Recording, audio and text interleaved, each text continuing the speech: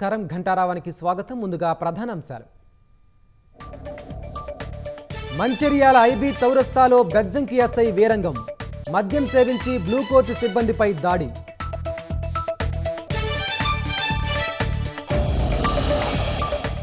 ఉప ఎన్నిక ప్రచార వేగాన్ని పెంచిన పార్టీలు.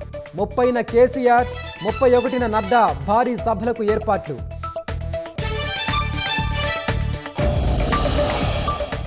మునుగోడు నియోజకవర్గంలో ఏరులై పారుతున్న మద్యం మాంసం. ఇరవై రెండు రోజుల్లో నూట అరవై కోట్ల మద్యం యాభై కోట్ల విలువైన మాంసం స్వాహ.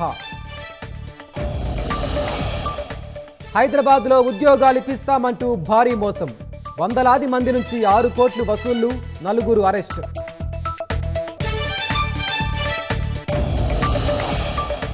బంగ్లాదేశ్లో సితరంగు తుఫాను బీభత్సం. ముప్పై ఐదు మంది మృతి పశ్చిమ బెంగాల్ అసోంలోనూ వానలు.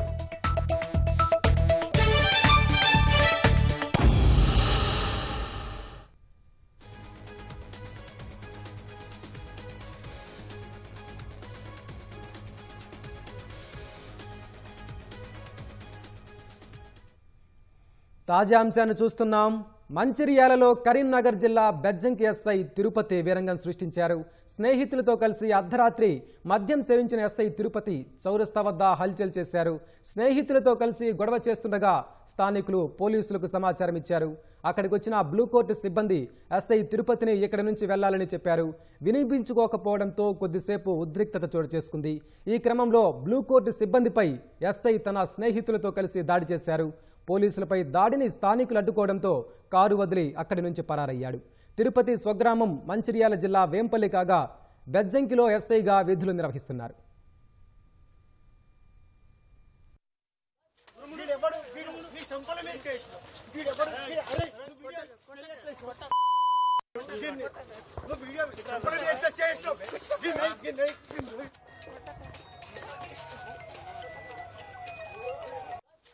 ఎవడు? వీడు మీ సంపల మీద కేసు. వీడెవడు వీడు అరే నువ్వు వీడియో సంపల మీద చేసినావు.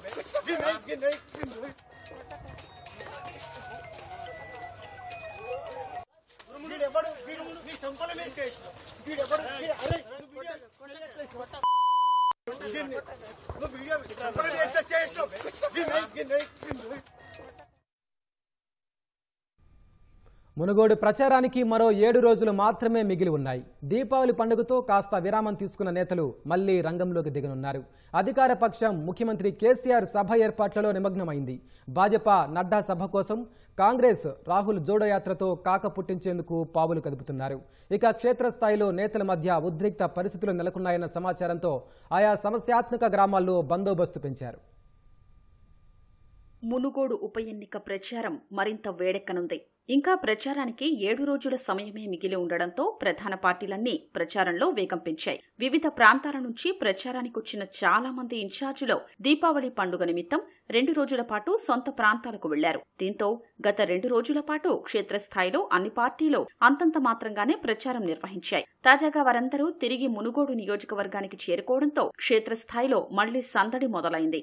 చండూరు పురపాలిక పరిధి సమీపంలోని బంగారిగడ్డ వద్ద ఈ నెల ముప్పైన సీఎం కేసీఆర్ బహిరంగ సభ నిర్వహించనున్నారు. ప్రచారం ముగిసే గడువుకు రెండు రోజుల ముందు జరిగే ఈ సభ ద్వారా తెరాస తమ ప్రచారాన్ని పతాక స్థాయికి తీసుకెళ్ళనుంది. ఈ నెల ముప్పై ఒకటిన జాతీయ అధ్యక్షుడు జేపీ నడ్డాతో బహిరంగ సభ నిర్వహించాలని భాజపా రాష్ట్ర కమిటీ నిర్ణయించింది. మునుగోడు చండూరు మధ్యలో సభను నిర్వహించాలని ప్రాథమికంగా నిర్ణయించగా సభా వేదికను ఒకటి రెండు రోజుల్లో ఖరారు చేయనున్నారు. ఇప్పటికే రాష్ట్రంలోని ముఖ్య నేతలంతా మునుగోడులోనే మకాం వేసి క్షేత్రస్థాయిలో ప్రచారం నిర్వహిస్తున్నారు. కేంద్ర మంత్రి కిషన్ రెడ్డితో పాటు పార్టీ రాష్ట్ర అధ్యక్షుడు బండి సంజయ్ దీపావళి సందర్భంగానూ నియోజకవర్గంలోనే మకాం వేసి పరిస్థితుల్ని ఎప్పటికప్పుడు పర్యవేక్షిస్తున్నారు. నడ్డా సభ ద్వారా గత నెల రోజుల నుంచి ఉధృతంగా సాగుతున్న ప్రచారాన్ని మరో స్థాయికి తీసుకెడతామని ఆ సభ పార్టీ విజయోత్సవ సభలాగా భారీ ఎత్తున జన సమీకరణతో నిర్వహించేందుకు పావులు కదుపుతోంది. కాంగ్రెస్ పార్టీ సైతం ఎన్నికల ముందు ప్రచారాన్ని ఉధృతం చేస్తోంది.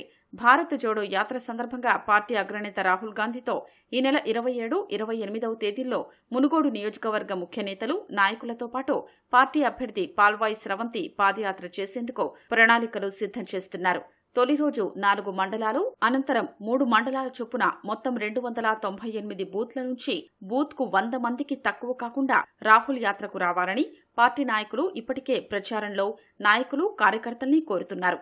అవసరమైతే నవంబర్ ఒకటిన శంషాబాద్ సమీపంలో సభను నిర్వహిస్తే మునుగోడు నుంచి పార్టీ కార్యకర్తలు ప్రజల్ని పెద్ద ఎత్తున తరలించారని నిర్ణయించారు. అయితే సభపై ఇంకా నిర్ణయం తీసుకోలేదని రెండు రోజుల పాటు మాత్రం రాహుల్ యాత్రలో మునుగోడు ప్రజానీకం పాల్గొని మద్దతునిస్తారని కాంగ్రెస్ నేతలు చెబుతున్నారు. ప్రచారాన్ని హోరెత్తించేందుకు ప్రధాన పార్టీలు పక్కా ప్రణాళికలతో ముందుకెడుతుంటే నియోజకవర్గ వ్యాప్తంగా పలు మండలాల్లో మాత్రం ఉద్రిక్తతలు చోటు చేసుకుంటున్నాయి. ఓ ప్రధాన పార్టీ అభ్యర్థి ప్రచారం సందర్భంగా రెండు రోజుల కిందట చౌటుప్పల్ మండలంలోని నాలుగు గ్రామాల్లో చోటు చేసుకున్న గొడవ ఇరు వర్గాలు రాళ్ళ దాడులు చేసుకునేంత వరకు వెళ్ళాయి నారాయణపురం మునుగోడు నాంపల్లి మండలాల్లోనూ గత నాలుగైదు రోజుల నుంచి గ్రామాల్లో ప్రధాన పార్టీల కార్యకర్తలు నాయకుల మధ్య ఘర్షణలు పెరిగాయి. పలు గ్రామాల్లో పోలీసులు గొడవల్ని నియంత్రిస్తున్నా అదుపులోకి మాత్రం రావటం లేదు. మరో నాలుగైదు రోజుల్లో సమస్యాత్మక అత్యంత సమస్యాత్మక గ్రామాల్లో గొడవలు మరింత పెరిగే అవకాశం ఉందని నిఘా వర్గాలు సైతం జిల్లా పోలీసు యంత్రాంగాన్ని హెచ్చరించినట్లు సమాచారం. దీంతో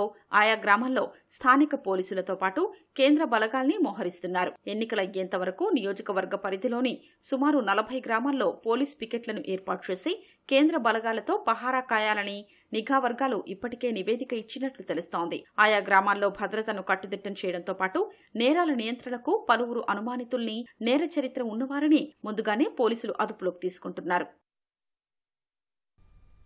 మునుగోడు ఉప ఎన్నిక ప్రచారంతో మద్యం ఏరులై పారుతుండగా మాంసం అమ్మకాలు రోజు రోజుకు పెరిగిపోతున్నాయి.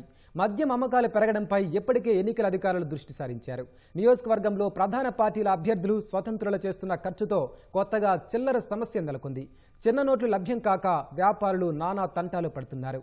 ఇక నియోజకవర్గానికి ప్రధాన పార్టీలు ప్రచారం కోసం ఏపీ నుంచి యువకులను రప్పించి జన సమీకరణ చేస్తున్నట్లు సమాచారం. మునుగోడు ఉప ఎన్నిక సమీపిస్తున్న కొద్దీ రాజకీయ వేడి మరింత రాజుకుంటోంది. ప్రధాన పార్టీల అభ్యర్థులు ఖర్చుకు ఏమాత్రం వెనుకడుగేయడం లేదు.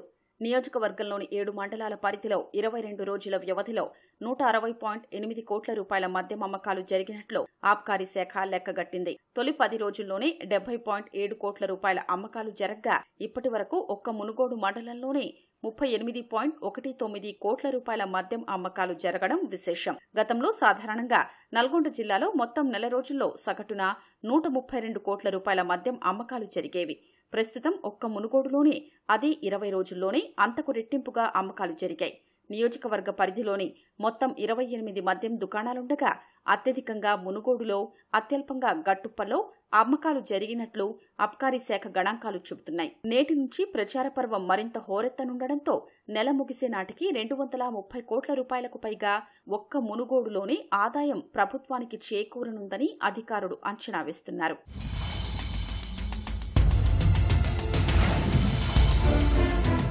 మద్యం అమ్మకాలు జోరుగా సాగుతుంటే నల్గొండ నకిరేకల్ నియోజకవర్గాల్లో ఉన్న డిపోల నుంచి మాత్రం మద్యం సాధారణం కంటే కొంచెం ఎక్కువగా సరఫరా అవుతోందని అధికారులు వెల్లడించిన గణాంకాలంతా ఇక్కడి నుంచి మునుగోడుకు సరఫరా చేయటం లేదని డిపో వర్గాల ద్వారా తెలుస్తోంది. మునుగోడు నియోజకవర్గంలోని పలు మద్యం దుకాణాల్లోనూ అమ్మకాలు సాధారణంగానే ఉంటున్నాయని సమాచారం. దీంతో ఇంత పెద్ద ఎత్తున మద్యం ఎక్కడి నుంచి సరఫరా అవుతోందన్నది అంతుచిక్కని ప్రశ్నగా తేలింది. కొంతమంది హైదరాబాద్ పరిసర ప్రాంతాలతో పాటు ఇబ్రాహీంపట్నం దేవరకొండ నుంచి విచ్చలవిడిగా నియోజకవర్గంలోని పలు బెల్ట్ దుకాణాలకు సరఫరా చేస్తున్నారని పోలీసు వర్గాలు అనుమానిస్తున్నాయి. గణాంకాలు మాత్రం పెద్ద ఎత్తున అమ్మకాలు జరిగాయని సూచిస్తుండగా డిపోల్లో అమ్మకాలు మాత్రం సాధారణంగా ఉండడం అబ్కారీ శాఖలో అక్రమాలు జరుగుతున్నాయి అనడానికి నిదర్శనంగా ఎన్నికల అధికారులు భావిస్తున్నారు. దీంతో ఎన్నికల పరిశీలకుల ఆదేశంతో పాటు మద్యం దుకాణాల్లో అమ్మకాల పరిస్థితిని జిల్లా ఎన్నికల అధికారి కలెక్టర్ వినయ్ కృష్ణారెడ్డి మంగళవారం పలు మద్యం దుకాణాల్ని పరిశీలించి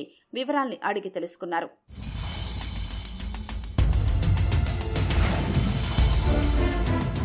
ఇక మాంసం విషయానికొస్తే ఎన్నికల నేపథ్యంలో నియోజకవర్గంలోని అన్ని గ్రామాల్లోనూ వినియోగం గరిష్ట స్థాయికి చేరింది.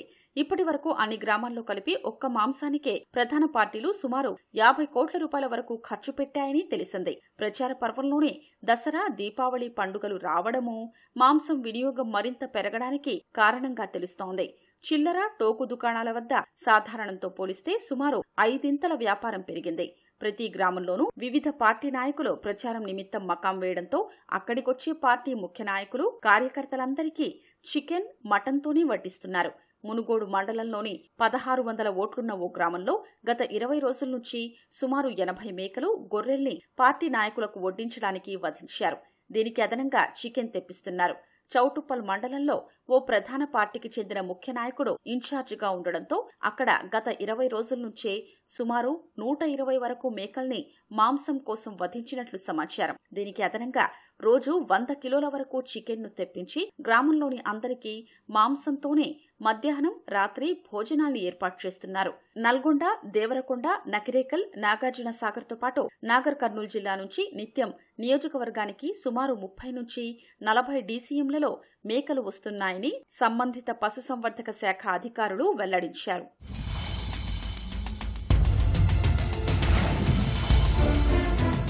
ప్రచారంలో కార్యకర్తలు ముఖ్య నాయకులతో పాటు వ్యాపారులు ఇతర చిన్న చితక వ్యాపారులకు ప్రస్తుతం కొత్త కష్టమొచ్చి పడింది అదే చిన్న నోట్ల సమస్య. నియోజకవర్గంలోని మొత్తం రెండు వందల తొంభై ఎనిమిది బూతుల్లో ప్రతి బూత్లో ప్రధాన పార్టీలన్నీ నలభై నుంచి యాభై మంది కార్యకర్తలతో కార్యక్రమాల్ని నిర్వహిస్తోంది. ప్రధాన పార్టీలతో పాటు చిన్న పార్టీలు స్వతంత్రులు సైతం నిత్యం తమ శక్తి మేర ప్రచారానికి ఖర్చు పెడుతున్నారు. క్షేత్రస్థాయిలో వీరికి రోజుకు సుమారు మూడు కోట్ల రూపాయల వరకు అన్ని పార్టీలు చెల్లింపులు చేస్తున్నాయి. వాహనాల డ్రైవర్లు అనుచరుల ఖర్చులు వంట సామాన్లు వంటవారు ఇతరత్రాలకు వెచ్చించే మొత్తం అదనం. ఈ చెల్లింపులన్నింటినీ ఐదు వందల రూపాయల నోట్లలోనే చేస్తుండటంతో మండల కేంద్రాల నుంచి గ్రామస్థాయి వరకు పది ఇరవై యాభై రూపాయల నోట్లకు కటకట అవుతోంది. ఉదయం టీ దుకాణం నుంచి టిఫిన్ సెంటర్లు కిరాణా దుకాణాలు భోజన హోటళ్ళు చివరకు మద్యం దుకాణాల్లోనూ చిల్లర సమస్యతో వారు బ్యాంకుల చుట్టూ తిరిగే పరిస్థితి నెలకొంది. డిజిటల్ లావాదేవీలు చేసేందుకు మాత్రం వినియోగదారులు సుముఖత వ్యక్తం చేయట్లేదని వ్యాపారులు చెబుతున్నారు.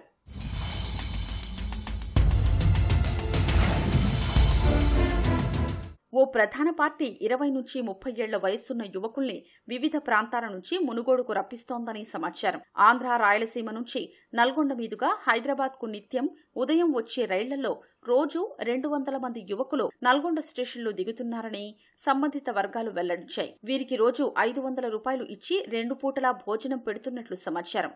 వీరెక్కడా మాట్లాడరు. ముఖ్య నేతల ప్రచార గుంపులో ఉంటారు. ఇలా వచ్చిన వారిలో కొంతమందిని మాత్రమే మేం ప్రచారానికి వాడుకుంటున్నామని ఓ మండల స్థాయి నేత వెల్లడించారు. వీరిని రప్పించడానికి ప్రత్యేకంగా బృందాల్ని నియమించుకున్నట్లు తెలిసింది. మునుగోడులో ప్రలోభాల పర్వాన్ని అడ్డుకునేందుకు ఎన్నికల సంఘం చర్యలు కట్టుదిట్టం చేస్తోంది. అదనపు అధికారులు సిబ్బందిని మోహరించిన ఈసీ తాజాగా కొత్త కార్యక్రమానికి శ్రీకారం చుట్టింది. పంపిణీ నిబంధనల ఉల్లంఘనకు సంబంధించి సిబ్బంది వాకపు చేసి మరీ సమాచారాన్ని తీసుకుని ఏర్పాటు చేసింది. అటు చెక్పోస్టుల వద్ద వాహనాల తనిఖీలను పార్టీలు అభ్యర్థుల తరపు వారు ప్రత్యక్షంగా చూసేలా నల్గొండ కలెక్టరేట్లో కంట్రోల్ రూమ్ ఏర్పాటు చేశారు. మునుగోడు ఉప ఎన్నిక రసకందాయంగా మారింది. రాజకీయ పార్టీలకు ప్రతిష్టాత్మకంగా మారిన ఉప ఎన్నికపైనే అందరి దృష్టి నెలకొంది. పార్టీలు అభ్యర్థులు నేతలు హోరాహోరీగా తలపడుతున్నారు. ఓటరు మహాశయుణ్ణి ప్రసన్నం చేసుకునేందుకు అన్ని రకాల విద్యల్ని ప్రదర్శిస్తున్నారు. ప్రలోభాల పర్వం ఇప్పటికే జోరుగా కొనసాగుతోంది. కొత్త కొత్త విధానాలు వ్యూహాల ద్వారా ఓటర్లకు డబ్బు మద్యం కానుకల్ని చేరవేస్తున్నారు. ఇందుకోసం అన్ని అవకాశాలు సౌకర్యాల్ని పూర్తి స్థాయిలో వినియోగించుకుంటున్నారు. ప్రలోభాలు జోరుగా కొనసాగుతుండటంతో పాటు ఫిర్యాదులు కూడా భారీగా వస్తున్న తరుణంలో కేంద్ర ఎన్నికల సంఘం కట్టడి చర్యలకు ఉపక్రమించింది. అదనపు వ్యయ పరిశీలకుణ్ణి మునుగోడు నియోజకవర్గానికి పంపింది.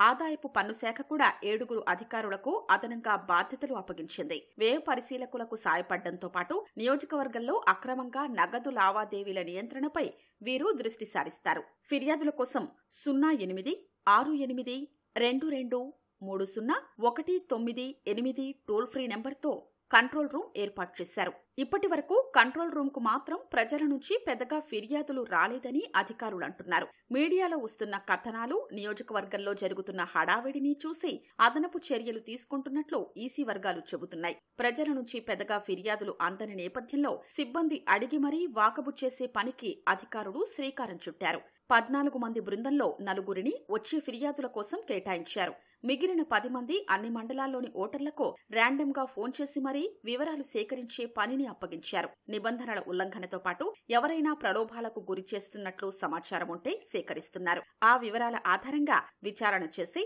తదుపరి చర్యలు తీసుకుంటామని ఈసీ వర్గాలు చెబుతున్నాయి. చెక్పోస్టుల వద్ద కొన్ని వాహనాల్ని మాత్రమే తనిఖీలు చేస్తున్నారన్న ఆరోపణల నేపథ్యంలో అక్కడున్న వీడియో కెమెరాల ఫీడ్ను లైవ్గా వీక్షించి ఏర్పాట్లు చేశారు. నల్గొండ కలెక్టరేట్లో ఏర్పాటు చేసిన కంట్రోల్ రూమ్కు వాటన్నింటినీ అనుసంధానించారు. రాజకీయ పార్టీలు అభ్యర్థుల తరపు వ్యక్తులు అక్కడి నుంచి అన్ని చెక్పోస్టుల వద్ద పరిస్థితుల్ని ప్రత్యక్షంగా చూసే వెసులుబాటు కల్పించారు. అటు చాలా వరకు మెయిల్స్ ద్వారానే రాజకీయ పార్టీలు అభ్యర్థుల నుంచి ఫిర్యాదులు వస్తున్నాయి స్థానికంగా రాష్ట్ర స్థాయితో పాటు కేంద్ర ఎన్నికల సంఘానికి కూడా ఫిర్యాదులు చేస్తున్నారు. వాటన్నింటిపై ఎప్పటికప్పుడు విచారణ చేసి తగిన చర్యలు తీసుకుంటున్నట్లు అధికారులు చెబుతున్నారు. అందులో భాగంగానే ఇప్పటి వరకు పంతొమ్మిది ఎఫ్ఐఆర్లు నమోదు చేసినట్లు తెలిపారు.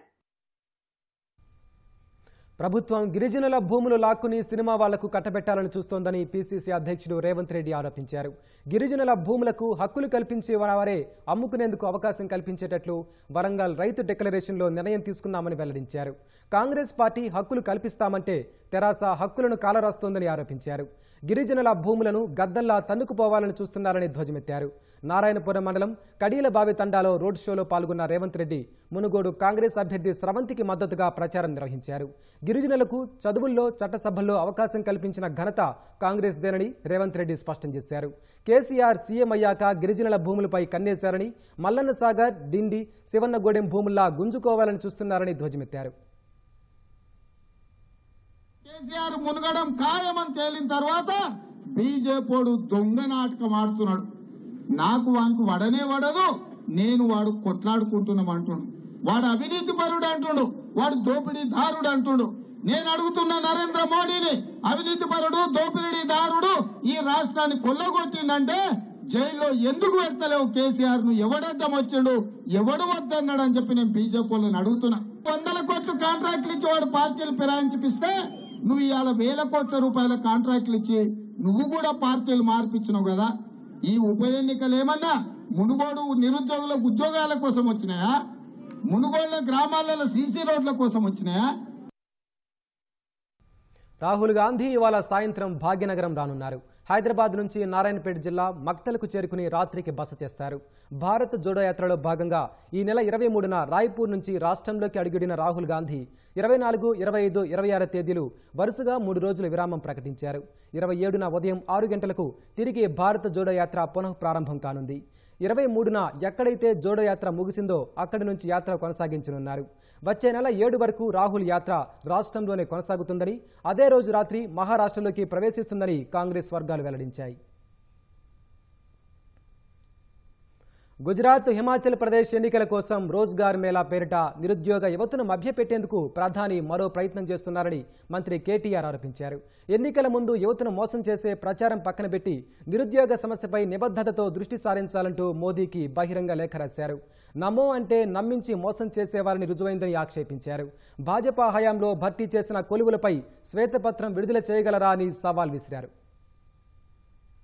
రోజ్గార్ మేళా పేరుతో పది లక్షల ఉద్యోగ నియామకాలంటూ ప్రధాని కొత్త నాటకానికి తెరలేపారని తెరాస కార్యనిర్వాహక అధ్యక్షుడు కేటీఆర్ విమర్శించారు. నిరుద్యోగుల జీవితాలతో ఆటలాడకుండా ఖాళీలను వెంటనే భర్తీ చేయాలని డిమాండ్ చేశారు. హిమాచల్ ప్రదేశ్ గుజరాత్ ఎన్నికల వేళ నిరుద్యోగులను మోసం చేసే ప్రయత్నమని ఆరోపించారు. రోజ్గార్ మేళపై ప్రధానికి బహిరంగ లేఖ రాసిన కేటీఆర్ ఏడాదికి రెండు కోట్ల ఉద్యోగాలు ఇస్తామన్న హామీ ఏమైందన్నారు. ప్రస్తుతం రోజ్గార్ మేళా పేరుతో ఉద్యోగాలను పది లక్షలకు కుదించడమే కాకుండా కేవలం డెబ్బై ఐదు వేల మందికే నియామక పత్రాలు అందజేయడం అనుమానాలు రేకెత్తిస్తోందన్నారు. ఉద్యోగాల భర్తీపై జూన్ తొమ్మిదిన తాను రాసిన బహిరంగ లేఖకు ఎలాంటి సమాధానం లేదన్నారు. పదే పదే యువతను మభ్యపెడుతున్న తీరుతో నమో అంటే నమ్మించి మోసం చేసేవారని రుజువైందని కేటీఆర్ ధ్వజమెత్తారు. ఎనిమిదేళ్ళలో భాజపా హయాంలో భర్తీ చేసిన ఉద్యోగాలపై శ్వేతపత్రం విడుదల చేయగలరా అని ప్రధానికి కేటీఆర్ సవాల్ విసిరారు. ఎనిమిదేళ్ళలో తెలంగాణలోనే సుమారు రెండున్నర లక్షల ఉద్యోగాలు భర్తీ చేశామన్న కేటీఆర్ కేంద్రం దేశంలో ఎన్ని ఉద్యోగాలు ఉద్యోగాలివ్వాలో చెప్పాలన్నారు. ఓవైపు లక్షల మందికి ఉపాధిని కల్పిస్తున్న ప్రభుత్వ రంగ సంస్థలను కార్పొరేట్లకు కట్టబెడుతూ మరోవైపు ఉద్యోగమేళా అంటే నిరుద్యోగులను నోటితో నవ్వుతూ నొసటితో వెక్కిరించడం కాదా అని ప్రశ్నించారు. సుమారు పదహారు లక్షల ఉద్యోగ ఖాళీలు ఉన్నాయని చెబుతూ కేవలం డెబ్బై ఐదు వేల మందికి మాత్రమే నియామక పత్రాలు అందించడం ద్వారా నిరుద్యోగులను ఏం చేయదలుచుకున్నారని మండిపడ్డారు. రోజ్గార్ మేళా ద్వారా భర్తీ చేస్తామంటున్న ముప్పై ఎనిమిది శాఖల్లో ఎన్ని ఖాళీలున్నాయి వాటిని ఎప్పటి వరకు భర్తీ చేస్తారో స్పష్టం చేస్తూ జాతీయ జాబ్ క్యాలెండర్ను విడుదల చేయగలరా అని ప్రశ్నించారు. రోజ్గార్ మేళా వంటి ప్రచారాలు ఆపి కేంద్ర ప్రభుత్వ ఉద్యోగాల భర్తీకి వెంటనే నోటిఫికేషన్లు విడుదల చేయాలని డిమాండ్ చేశారు. ఎప్పటిలాగే యువతను మోసం చేస్తే మోదీ పాలనపై తిరగబడే రోజు త్వరలోనే వస్తుందని కేటీఆర్ ధ్వజమెత్తారు. జీహెచ్ఎంసీ ఆధ్వర్యంలో ఎస్ఆర్డీపీ కార్యక్రమం ద్వారా నిర్మించిన నాగోల్ ఫ్లైఓవర్ను నేడు పురపాలక శాఖ మంత్రి కేటీఆర్ ప్రారంభించనున్నారు. మొత్తం నూట నలభై మూడు కోట్ల రూపాయల వ్యయంతో ఈ ఫ్లైఓవర్ను జీహెచ్ఎంసీ నిర్మించింది. దాదాపు కిలోమీటర్ పొడవుండే నాగోల్ ఫ్లైఓవర్ అందుబాటులోకి వస్తే బొప్పల్ నుంచి ఎల్బీ నగర్ వరకు ఎలాంటి ట్రాఫిక్ లేకుండా చేరుకోవచ్చు. ఇప్పటికే LB Nagar junction underpass నిర్మాణంతో ఎన్న రింగ్ రోడ్డుపై సాఫీగా ప్రయాణం సాగుతోంది. శంషాబాద్ అంతర్జాతీయ విమానాశ్రయం నుంచి ఆరంఘర్ ఎల్బీ నగర్ మీదుగా ఉప్పల్ వరకు అక్కడి నుంచి ఇతర ప్రాంతాలకు వెళ్ళేందుకు సులభతరమవుతుంది. నాగోల్ ఫ్లైఓవర్ అందుబాటులోకి రానుండడంతో ఎస్ఆర్డీపీ ద్వారా చేపట్టిన పనులో పదహారో ఫ్లైఓవర్ అవుతుందని జీహెచ్ఎంసీ అధికారులు వివరించారు.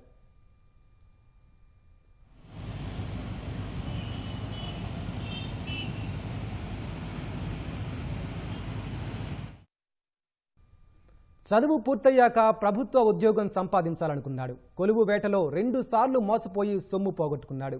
పోయిన చోటే వెతుక్కోవాలన్న ఉద్దేశంతో తానే ఓ ముఠాను తయారు చేసి మోసగాడిగా మారాడు. కేంద్ర ప్రభుత్వ ఉద్యోగాలు కల్పిస్తామంటూ ఎంతోమంది యువకుల నుంచి భారీగా డబ్బులు వసూలు చేశాడు. ప్రధాన సూత్రధారి సహా నలుగురు నిందితులను పోలీసులు అరెస్టు చేశారు.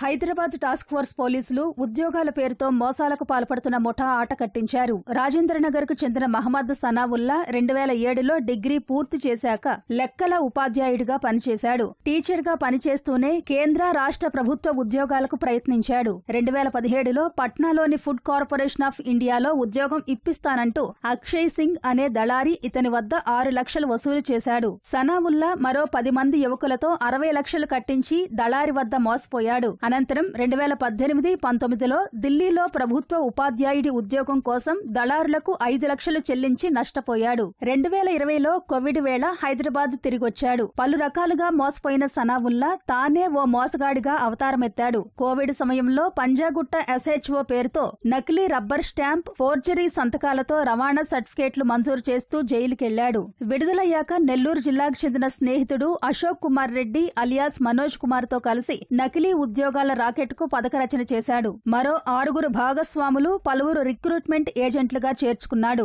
పట్నాలో ఉద్యోగం పేరుతో తన ద్వారా మోసపోయిన బాధితులు డబ్బు చెల్లించమంటూ సనాముల్లాపై ఒత్తిడి పెంచారు. ఆ అనుభవాన్ని అమలు చేసి డబ్బు సంపాదించాలనుకున్నాడు. అంతా కలిసి హైదరాబాద్ మాసబ్ ట్యాంక్లో నెలకు లక్ష రూపాయలు అద్దెకు ఓ భవనం తీసుకుని ఇన్కమ్ ట్యాక్స్ సర్వీసెస్ పేరుతో కార్యాలయం ప్రారంభించారు. తమిళనాడు ఏపీ తెలంగాణల్లో ఆదాయ పన్ను శాఖలో ట్యాక్స్ అసిస్టెంట్ ట్యాక్స్ ఇన్స్పెక్టర్ ఉద్యోగాలకు ఇంటర్వ్యూలు నిర్వహిస్తున్నట్టు ప్రచారం చేసి యువకులను ఆకట్టుకున్నారు. ఏజెంట్ల చేతికి అడ్వాన్స్ సొమ్ము రాగానే వారిని మాసాబ్ ట్యాంకులోని నకిలీ కార్యాలయానికి పంపేవారు. ఇంటర్వ్యూ అనంతరం జాయినింగ్ లెటర్లు ఇచ్చారు. ఒక్కొక్కరి నుంచి మూడు నుంచి నాలుగు లక్షల చొప్పున సుమారు ఐదు నుంచి ఆరు కోట్లు వసూలు చేశారు. వారిలో డెబ్బై మందిని ఎంపిక చేసి వారిని డేటా ఎంట్రీ ఆపరేటర్ పేరుతో ఆరు నెలలుగా శిక్షణ ఇచ్చారు. ప్రతి నెలా స్టైఫండ్ కింద పద్దెనిమిది వేల రూపాయల చొప్పున చెల్లిస్తున్నారు. ఇటీవల ఇదంతా మోసమని గ్రహించి పోలీసులను ఆశ్రయించారు.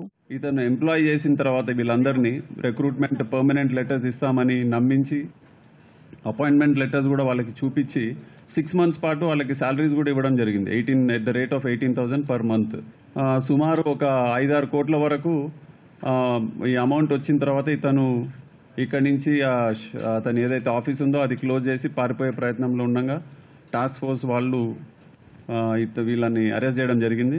సో దీంట్లో ఇంతకుముందు ఇతను ఆల్రెడీ పంజగుట్ట పోలీస్ స్టేషన్లో ఒక క్రైమ్లో ఉన్నాడు సైఫాబాద్ తర్వాత Humayun Nagar. So is a previous offender ఇతను నోన్ చీటర్. బాధితుల ఫిర్యాదుతో టాస్క్ ఫోర్స్ పోలీసులు తమ సోదరులకు ఇన్కమ్ ట్యాక్స్ ఉద్యోగం కావాలంటూ బేరసారాలు సాగించారు. వారు ఇచ్చిన ఆఫర్ లెటర్ను ఢిల్లీలోని సంబంధిత కార్యాలయానికి పంపగా అది నకిలీదని తేలడంతో మాసాబ్ ట్యాంక్లోని నకిలీ కార్యాలయంలో తనిఖీలు చేశారు. నకిలీ జాయినింగ్ పత్రాలు రబ్బర్ స్టాంపులు రెండు కార్లు రెండు వందల ఎనభై ఎనిమిది పాయింట్ ఎనిమిది ఏడు గ్రాముల బంగారు ఆభరణాలు పదిహేను లక్షల ముప్పై వేల నగదు స్వాధీనం చేసుకున్నారు. ఆన్లైన్లో national soil conservation and salinization board ఆ గవర్నమెంట్ సంస్థ పేరు మీద ఇతను దాంట్లో కూడా కొన్ని ఉద్యోగాలు ఉన్నాయి. క్యాండిడేట్స్ని కావాలి అంటూ అతను అడ్వర్టైజ్ చేయడం జరిగింది. దాంట్లో అగ్రికల్చరల్ అసిస్టెంట్ పోస్ట్కి కొంతమంది అభ్యర్థులని కావాలి అని చెప్పి వాళ్ళని అందరి దగ్గర five hundred rupees per candidate అట్లా fourteen hundred and twenty candidates ఇతనికి five at the rate of rupees five hundred for application ఇతనికి డిపాజిట్ చేయడం జరిగింది. Uh, ఇంటర్వ్యూ డేట్స్ కూడా ఇవ్వడం జరిగింది. సో ఈ అందరి ఇంటర్వ్యూ డేట్స్ ఇచ్చిన తర్వాత వీళ్ళని తర్వాత నోటిఫికేషనే క్యాన్సిల్ అయినట్టు మళ్ళీ ప్రకటించడం జరిగింది. ఈ కేసులో నలుగురిని అరెస్ట్ చేయగా మరో ఇద్దరు పరారీలో ఉన్నారని పోలీసులు తెలిపారు. వారి కోసం గాలిస్తున్నట్లు పేర్కొన్నారు. బ్రిటన్ నూతన ప్రధానిగా బాధ్యతలు స్వీకరించిన కొన్ని గంటల వ్యవధిలోనే రిషి సునాక్ తన పని మొదలుపెట్టారు. బ్రిటన్ను ఆర్థిక వ్యవస్థను గాడిన పెట్టే దిశగా కసరత్తు ప్రారంభించారు. కీలక శాఖలకు మంత్రులను నియమించిన రిషి సునాక్ భారత సంతతి నాయకురాలు సుయల్లా బ్రేవర్మన్కు మళ్ళీ హోంశాఖను కేటాయించారు. బ్రిటన్ ఉప ప్రధానిగా న్యాయశాఖ మంత్రిగా తన సన్నిహితుడు డొమినిక్ రాబ్ను తిరిగి నియమించారు. బ్రిటన్ ప్రధానిగా బాధ్యతలు స్వీకరించి చరిత్ర సృష్టించిన రిషి సునాక్ సవాళ్ళను అధిగమించేందుకు కార్యాచరణ ప్రారంభించారు. కీలక శాఖలకు మంత్రుల్ని నియమించారు. జాన్సన్ సర్కార్లో బ్రిటన్ ఉప ప్రధానిగా న్యాయశాఖ మంత్రిగా పనిచేసిన తన సన్నిహితుడు డొమినిక్ రాప్కు ఆ రెండు పదవుల్ని తిరిగి కట్టబెట్టారు. ట్రస్ హయాంలో హోంమంత్రిగా పనిచేసి ఇటీవలే రాజీనామా చేసిన భారత సంతతి నాయకురాలు సుయల్లా బ్రెవర్మన్కు తిరిగి హోంశాఖ కేటాయించారు. ప్రస్తుత ఆర్థిక మంత్రిగా ఉన్న జెరిమీ హంట్ను అదే పదవిలో కొనసాగిస్తున్నట్లు ప్రకటించారు. సునాక్కు విశ్వపాత్రుడు కానప్పటికీ జేమ్స్ క్లెవర్లీని విదేశాంగ శాఖ మంత్రిగా కొనసాగించారు. రక్షణ మంత్రిగా బెన్ వాలిస్ కొనసాగనుండగా టోరీ పార్టీ చైర్మన్గా నదీం జహానీ నియమితులయ్యారు. నదీం కు మంత్రి అవకాశం కల్పించినప్పటికీ ఏ శాఖను కేటాయించింది మాత్రం స్పష్టం చేయలేదు. వాణిజ్య శాఖ మంత్రిగా గ్రాంట్ షాప్స్ను రిషి నియమించారు. భారత సంతతికి చెందిన ఎంపీ అలోక్ వర్మ మంత్రి పదవిని కోల్పోయారు. కాప్ ట్వంటీ సిక్స్ అధ్యక్షుడిగా మాత్రం ఆయన కొనసాగుతారు. తనపై పోటీ చేసి తగిన మద్దతు లేకపోవడంతో చివరకు బరిలోంచి వైదొలిగిన పెనీ మార్జౌంట్కు రిషి తన జట్టులో స్థానం కల్పించారు. ఆమెతో పాటు గిల్లియన్ కీగన్కు విద్యాశాఖ మెల్ స్ట్రైడ్కు పనులు పెన్షన్ల బాధ్యతలు అప్పగించారు. మరోవైపు లిజ్ ట్రస్ జట్టులో మంత్రులుగా ఉన్న పలువురిని పదవులకు రాజీనామా చేయాలని రిషి కోరినట్లు తెలుస్తోంది. శతరంగ్ తుఫాన్ బంగ్లాదేశ్ను అతలాకుతలం చేసింది. పశ్చిమ బెంగాల్ తీరానికి సమీపంలో బంగ్లాదేశ్లోని బైరిసాల వద్ద తుఫాను తీరం దాటి బీభత్సం సృష్టించింది. దేశంలో పలుచోట్ల వర్ష బీభత్సానికి సుమారు ముప్పై ఐదు మంది మృతి చెందారు. మృతుల్లో కొందరు చిన్నారులు ఉన్నట్లు అధికారులు తెలిపారు. కోలా చిట్టగాంగ్ సిరాజ్గంజ్ గోపాల్గంజ్ మున్షిగంజ్ జిల్లాల్లో తుపాను ప్రభావం ఎక్కువగా ఉన్నట్లు వెల్లడించారు. రోడ్లు తెగి రవాణా స్తంభించగా విమానాల రాకపోకలు నిలిచిపోయాయి. దాదాపు కోటి మంది చీకట్లలో బిక్కుబిక్కుమంటూ కాలం వెలదిస్తున్నారు. దాదాపు పదివేల ఇళ్ళు కూలినట్లు ప్రాథమికంగా నిర్ధారించారు. భారత్ పైన శతరంగ తుఫాను ప్రభావం చూపింది. పశ్చిమ బెంగాల్లోని కొన్ని జిల్లాల్లో జోరు వానలు కురిశాయి. అసోంలోని గౌహతిలోనూ శతరంగు ప్రభావంతో భారీ వర్షం కురిసింది. తుఫాను శతరంగు అల్పపీడనంగా బలహీనపడిందని భారత వాతావరణ విభాగం తెలిపింది.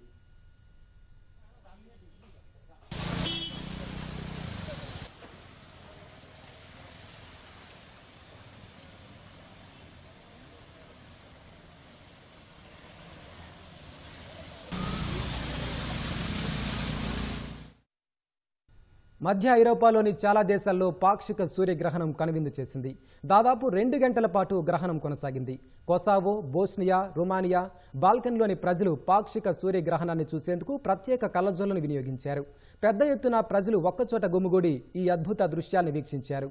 కొందరు సొంత టెలిస్కోపుల సాయంతో గ్రహణాన్ని చూశారు.